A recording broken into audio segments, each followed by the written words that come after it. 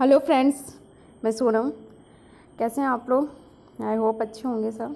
सबकी प्रिपरेशन भी अच्छी चल रही होगी। आपकी प्रिपरेशन कैसी चल रही है? आप लोग ये चीज़ ज़रूर बताएँ। मैं कमेंट बॉक्स में बताएँ कि आपकी गेट की प्रिपरेशन कैसी चल रही है ट्वेंटी ट्वेंटी वन की, ठीक है? सारी डेट अनाउंस हो चुकी है। और जो फॉर्म का फिल करना है, वो आपका स्टार्ट हो जाएगा फोर्टीन सेप्टेम्बर से। तो आप लोग सभी लोग फॉर्म फिल कर दीजिए टाइम पर, ठीक है? फोर्टीन सितंबर से शायद थर्टी सितंबर तक है, ठीक है? आप जल जितनी जल्दी पॉसिबल हो, उतनी जल्दी आप फॉर्म फिल कर दीजिए। बाकी आपकी प्रिपरेशन अगर आप ई के लिए प्रिपरेशन कर रहे हैं तो उसके लिए भी आपको बूस्टअप रखना है, ठीक है? उसका एग्ज़ाम और जल्दी होगा। तो आप लोग तैयारी करते रहिए। आज हम लोग जो डिस्कस करेंगे, वो हम लोग करेंगे Norton's theorem for dependent source, ठीक है? इससे पहले के वीडियो में हमने नॉटन्स थ्योरम को डिस्कस किया था, लेकिन हमने जो उसमें डिस्कस किया था वो हमारी किसके लिए थी? इंडिपेंडेंट सोर्स के लिए। पहले हमने आपको बताया था कि नॉटन्स थ्योरम में हम क्या करते हैं कि पूरा जो सर्किट होता है उसको हम किससे रिड्यूस करते हैं? पूरे सर्किट को हम रिप्लेस करते हैं, ठीक है? किससे? एक करेंट सोर्स से और इसके पैरलर में एक रजिस्टेंस है। क्योंकि पूरे सर्किट को जो होता है मैं उसे सॉल्व करना हमारे लिए थोड़ा डिफ़िकल्ट टास्क होता है। तो उसको हम इजी बनाने के लिए नॉटन्स थ्योरम थ्योरम्स को यूज़ हम इजी बनाने के लिए करते हैं एनालिसिस को। लेकिन नॉटन्स में हम क्या करते हैं, पूरे सर्किट को हम किससे रिप्लेस करते हैं? एक करंट सोर्स है, इसके पैरेलल में रेजिस्टेंस अगर आपको नॉटन्स थ्योरम का बेसिक्स जानना है आइडिया जानना है तो इसके पहले वाला वीडियो देख लें। लिंक क्या मैं डिस्क्रिप्शन में शेयर कर दूँगी। तो अब बात करते हैं डिपेंडेंट सोर्स के लिए नॉटन्स थ्योरम। तो फ़र्स्ट क्वेश्चन हमारा, find short circuit current with respect to A और बी। इस सर्किट में देखो आप, एक डिपेंडेंट सोर्स लगा हुआ है हमारा, ठीक है, जिसकी वैल्यू क्या है? थ्री आई। वोल्ट, ठीक है, वोल्टेज सोर्स है, डिपेंडेंट वोल्टेज सोर्स। तो हमें शॉर्ट सर्किट करंट निकालना है ए और बी टर्मिनल के अक्रॉस। तो प्रोसीजर क्या है? सबसे पहले आपको क्या करना था? लोड रजिस्टर को हमने बताया था हटाना। नोटेंस में क्या करते हैं? लोड रजिस्टर को हटाएँगे और इसको क्या करते हैं? Short circuit. जैसे थैमनिन में हम क्या करते थे? लोड रजिस्टर को हटा के ओपन सर्किट। लेकिन इसमें हम क्या करते हैं? Short circuit. तो हमने इसको ए, लोड रजिस्टर हटाया और इसे क्या कर दिया? शॉर्ट सर्किट, ठीक है? अभी हमारा शॉर्ट हो गया। अब देखो, इसमें नाइन एम्पियर का करेंट फ्लो हो है, ठीक ये नाइन एम्पियर करंट फ्लो रहा है। सीरीज़ में करंट सेम है, यानी कि यहाँ तक सेम रहेगा। इसके बाद डिवाइड होगा। तो अब आप देखो, जो ये वाला रेजिस्टेंस है हमारा। पहले पूरे सर्किट को देखो। यहाँ से हमारा करंट डिवाइड होगा। इसके बाद आई हमसे, जो आई है वो किसमें दी गई है? हमें फाइव एम्पियर ठीक है? क्वेश्चन में दिया है। I V value five ampere ये वाला हमारा क्या हो गया? शॉर्ट सर्किट ठीक? तो यहाँ से जो भी करंट आ रहा है, यहाँ से जो भी करंट आएगा, वो किस पे? एक तो इधर फाइव ओम का रेजिस्टेंस लगा यहाँ पे शॉर्ट सर्किट है। शॉर्ट सर्किट का मतलब क्या? रेजिस्टेंस की वैल्यू ज़ीरो है। तो जब जो रेजिस्टेंस होता है करंट होता है ना, वो हमेशा कौन सा पाथ प्रेफर करता है? लो रेजिस्टेंस पाथ ठीक है? लो रेजिस्टेंस जिसमें रेजिस्टेंस कम होगा ऑब्वियसली बात है, वहाँ करंट ज़्यादा फ्लो होगा, ठीक है? लेकिन जब रेजिस्टेंस ज़ीरो है मतलब कोई रेजिस्टेंस ही नहीं है तो दूसरी ब्रांच में करंट बिल्कुल नहीं जाएगा, ठीक है? आई की वैल्यू क्या हो जाएगी? ज़ीरो आप करंट डिवीज़न से भी निकाल सकते हो, जो हमने करंट डिवीज़न से कहा था, ठीक है? इसमें रेजिस्टेंस की वैल्यू ज़ीरो होगी तो आपका आ जाएगा finally I equal to zero ठीक? और कॉमन सेंस की बात है, अगर यहाँ पर लो रेजिस्टेंस है, ठीक है? कोई शॉर्ट सर्किट है रेजिस्टेंस की वैल्यू ज़ीरो है तो आपका जो पूरा का पूरा करंट होगा, वो यहीं से फ्लो हो जाएगा, दूसरी ब्रांच में कोई करंट नहीं जाएगा, क्योंकि यहाँ अपोज अपोजिशन हो रहा है रजिस्टर लगा हुआ है तो इधर कोई करंट नहीं जाएगा। तो अब अगर इधर कोई करंट नहीं जा रहा तो ये जो आई दी गई है फाइव ओम के आई की वैल्यू क्या होगी ज़ीरो अब अगर आई की वैल्यू ज़ीरो हो तो ये जो सोर्स है आपका डिपेंडेंट ये देखो इसकी वैल्यू क्या थ्री है तो आई की वैल्यू ज़ीरो रखोगे तो ये भी ज़ीरो हो गया। यानी ज़ीरो का मतलब क्या? शॉर्ट सर्किट हो गया। नहीं देखो, यही मैंने यहाँ पे लिख भी दिया आप लोगों की समझ के लिए। Current I equal to zero है तो थ्री आई क्या हो गया आपका? ज़ीरो करंट हमेशा कौन सा पार्ट प्रेफर करता है? लो रजिस्टेंस पाथ या शॉर्ट सर्किट है कहीं पे भी तो करंट पूरा आपका वहीं से पास हो जाएगा। ठीक? आप जानते भी होंगे शॉर्ट सर्किट का कॉन्सेप्ट अब आपको देखो, आई ज़ीरो हो गया तो यानी कि ये वाला भी बात शॉर्ट सर्किट हो गया यहाँ से आपका वोल्टेज, डिपेंडेंट वोल्टेज सोर्स हट गया। अब जब डिपेंडेंट वोल्टेज सोर्स हट गया तो आपका क्वेश्चन क्या, कॉमन क्वेश्चन हो गया जैसे आप सॉल्व करते हो। जब क्वेश्चन कॉमन हो गया तो अब क्या देखो आप, एक टेन ओम का रेजिस्टेंस लगा, एक फाइव ओम का, और इसके पहले में रेजिस्टेंस लगा है ज़ीरो ओम का। यानी कि ये वाला पाथ क्या है, शॉर्ट सर्किट? ठीक, अब अगर कोई पाथ शॉर्ट सर्किट है, ठीक है तो उसके पहले में जो रेजिस्टेंस लगे हुए हैं उनकी वैल्यू भी, आप इक्विवेलेंट जब रेजिस्टेंस निकालोगे तो क्या आएगा? ज़ीरो आएगा। ठीक है, आप निकाल के भी देख लो five into zero upon five plus zero ठीक है ज़ीरो डिवाइड बाई सेवन तो ज़ीरो हो जाएगा इसी तरह से। तो अगर आप, उनके पास कोई शॉर्ट सर्किट पार्ट दिखता है पैरलन उसके पैरलन में रेजिस्टेंस लगे हुए हैं तो उनकी वैल्यू भी क्या हो जाएगी? ज़ीरो ठीक? तो अब आपके पास इतना बचा। ठीक है ट्वेंटी ओम ट्वेंटी ओम का रेजिस्टेंस ठीक है, और नाइन एम्पियर का करंट सोर्स ठीक है? आपके नोटेंस में होता क्या? इसी से तो आपको रिप्लेस करना होता था कि करंट सोर्स चाहिए आपको ये ट्वेंटी एम्पियर का। वो ट्वेंटी एम्पियर नहीं, जो भी इसमें निकला हुआ है, ठीक है? इसमें ट्वेंटी एम्पियर का निकला sorry I am sorry really sorry twenty ampere नहीं ट्वेंटी ओम ठीक है? ट्वेंटी ओम का है रेजिस्टेंस ठीक? तो अब आपको करंट निकालना है। तो करंट आपका क्या हो? सीरीज़ में करंट सेम होता है। नाइन एम्पियर करंट फ्लो हो रहा तो शॉर्ट सर्किट करंट आपकी वैल्यू कितनी होगी? नाइन एम्पियर और हमसे करंट ही पूछा गया था। देखो find short circuit current with respect to A B A B के अक्रॉस शॉर्ट सर्किट करंट हमने इसे शॉर्ट तो हमने क्या किया क्वेश्चन में? सिंपल कुछ नहीं, हमसे शॉर्ट सर्किट करंट पूछा है तो हमने इसको शॉर्ट किया, ठीक है? नॉर्टन्स थ्योरम को यूज़ किया, ठीक है? शॉर्ट सर्किट किया तो हमने देखा, पूरा का पूरा करंट यहीं से पास हो रहा है, क्योंकि सारा करंट शॉर्ट सर्किट से पास होता है, किसी और ब्रांच में नहीं जाता अगर शॉर्ट सर्किट है। तो जब इसका सारा करंट यहाँ से पास हो गया तो इसमें जो करंट था फाइव एम्पियर ओम में सॉरी फाइव ओम में कितना जाएगा? ज़ीरो जब ज़ीरो जाएगा तो और जो वोल्टेज सोर्स था वो आई पे डिपेंड कर रहा था थ्री आई था तो आई ज़ीरो हो गया तो वोल्टेज सोर्स भी ज़ीरो हो गया।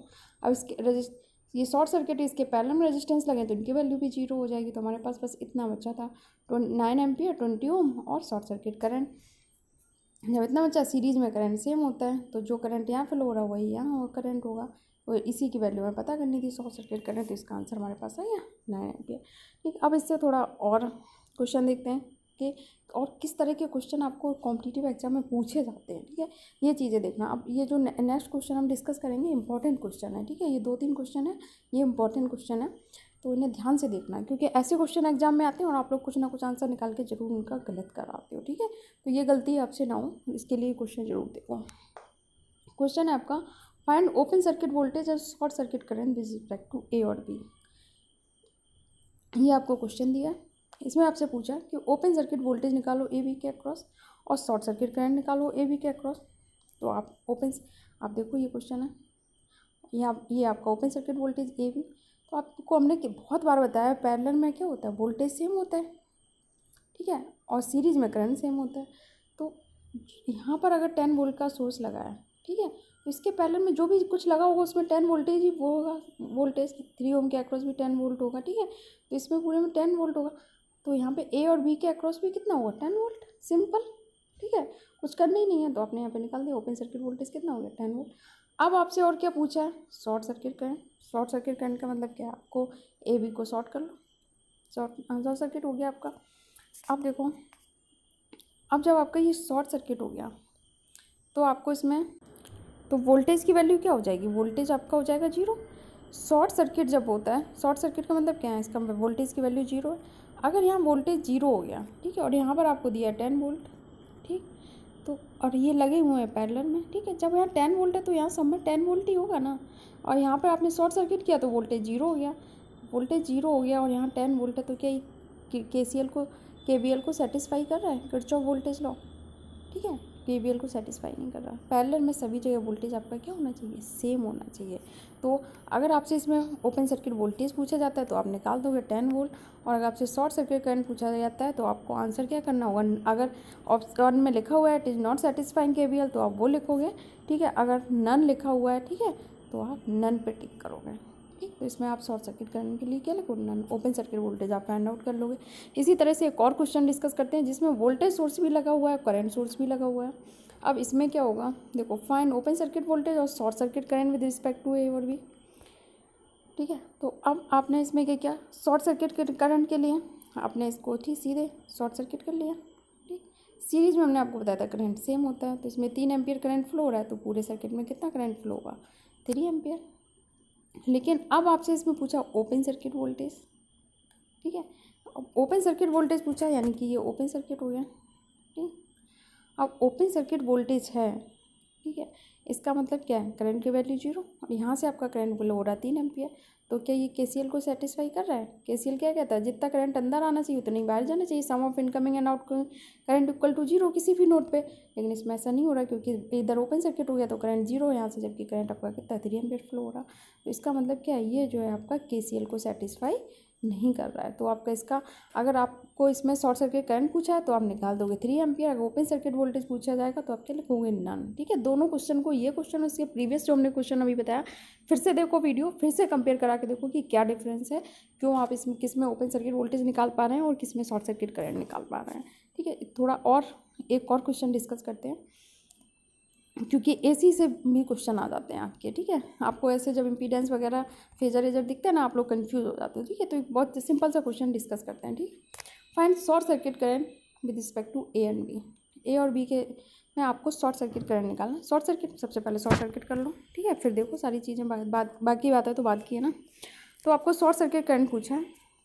अब आप अगर इस नोट पे देख लो, किसी भी नोट पे, जितने भी हमने बताया के सी एल क्या होता है? Sum of incoming current equal to sum of outgoing current. तो इस पर देखो, इस नोट पे कौन कौन से करंट आ रहे हैं? इस पर आई, शॉर्ट सर्किट करंट बाहर जा रहा है, ठीक है? तो क्या हो गया आपका? आई, एस, सी यानी कि sum of outgoing current equal to income जितने बाहर जा रहे हैं उतने अंदर आने चाहिए। शॉर्ट सर्किट ये आपको बाहर जा रहा तो अपने इसको लिया I S C incoming current एक साइड लिख लेते हैं आउट गोइंग करंट एक साइड ठीक है? Outgoing I S C हो गया। इनकमिंग आपका क्या हुआ? फाइव एंगल फोर्टी फाइव ये आपका इनकमिंग हो गया। प्लस ये आई वन करें अब आई वन की वैल्यू क्या है? ठीक है प्लस आई वन लिख दो। Short circuit current equal to पे five angle forty five plus I one अब आई वन आपके निकालना पड़ेगा? इस ब्रांच में जो आई है, ठीक है? आई या आई वन आप मान लो, कुछ भी। तो इसकी वैल्यू क्या है? आई इक्वल टू कैसे निकालोगे? बी अपॉन आर ठीक है? वोल्टेज इसमें दिया है आपको ten root two angle ninety ठीक है? और रजिस्टेंस सॉरी इम्पीडेंस ठीक है? ए सी की बात करें तो हम किसकी बात करें? इम्पीडेंस ठीक है? इम्पीडेंस आपको कितनी दी है? वन प्लस जे वन ठीक है? वन प्लस जे वन का मतलब क्या हो गया? इसका मैग्नीट्यूड कैसे निकालेंगे? ए आपने पढ़ा होगा एक्स प्लस जे वाई या एक्स प्लस आई वाई वाली फॉर्म का, ठीक है? मैग्नीट्यूड कैसे निकालेंगे? अंडर रूट वन का होल स्क्वायर प्लस वन का होल स्क्वायर ठीक? तो इससे आपका क्या निकल जाएगा? इसका अंडर रूट टू हो जाएगा, ठीक? एंगल कैसे निकालेंगे? Tan inverse by upon X यानी कि अगर एक्स प्लस जे वाई मान लिया तो वाई क्या है? वन और एक्स भी वन है। टेन इनवर्स वन क्या हो जाएगा वो? इसे हम किससे लिख सकते हैं? वन कितना कितना होता है? Tan forty five? तो टेन टेन टेन इनवर्स और टेन कैंसिल हो जाएगा तो आपका एंगल कितना हो जाएगा? Forty five. तो ये आपका कितना हो जाएगा? Root two angle forty five. Magnitude इसका हो जाएगा। वोल्टेज की वैल्यू आपको दी है तो आप करंट की, I equal to V upon R से आप निकालोगे। ठीक है? Root two root two cancel हो गया। Angle ninety minus forty five कितना हो गया? Forty five. और मैग्नीट्यूड आपका कितना है? टेन। तो आई वन की वैल्यू आपने निकाली, टेन फोर्टी फाइव। ठीक है? तो ten angle forty five plus five angle forty five. दोनों को ऐड कर दिया, आपका मैग्नीट्यूड आ गया fifteen angle forty five. I hope आपको सारी चीज़ें क्लियर समझ में आ गई होंगी। ये जितने भी क्वेश्चन मैंने डिस्कस किए, बहुत इंपॉर्टेंट क्वेश्चन है। ठीक है, अगर आपको नहीं समझ में आए तो आप लोग एक बार और देखें। तो मिलते हैं नेक्स्ट वीडियो में नेक्स्ट टॉपिक के साथ। पढ़ते रहिए आप लोग, अपने सपनों को ज़िंदा रखिए। Thank you